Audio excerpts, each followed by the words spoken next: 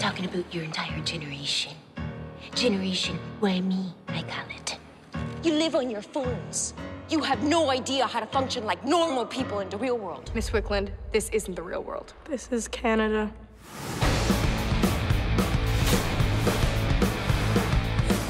Oh, it's Lulu and Lemon. Condescending riot girls. Colleen Coalition, I would like to invite you both to my party. A senior party? A senior party? Senior boys only invite sophomore girls to parties for one thing. God knows what else, eh? All you need to handle any situation in life are the Warrior 1 and Warrior 2 positions, girls. Master those, and you will master anyone who gives you shit.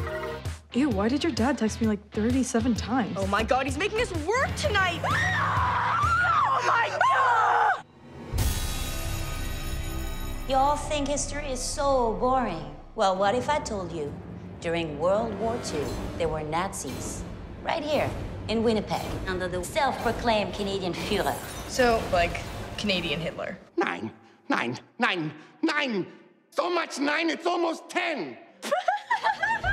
Canadian Nazis were the original landowners of your sword. Who's the Bratzis? What is the Bratzi? Nine, nine, nine. It's like a foot talk Nazi and it's made of bratwurst. Are you guys tripping on the pot? I need both of you to help me solve this quite clear case. Sorry. Destroy everything that threatens anyone or anything that you love. That's the yoga way. We can do this. We do tons of stupid stuff with our adults all the time. Now in Warrior 3, we you get the shit out of these bratwurst bitches, okay? Okay. Warrior 3! Sorry, boot that. Sorry, boot that. Ah! Sorry, boot that. Sorry, boot that. I'm not even supposed to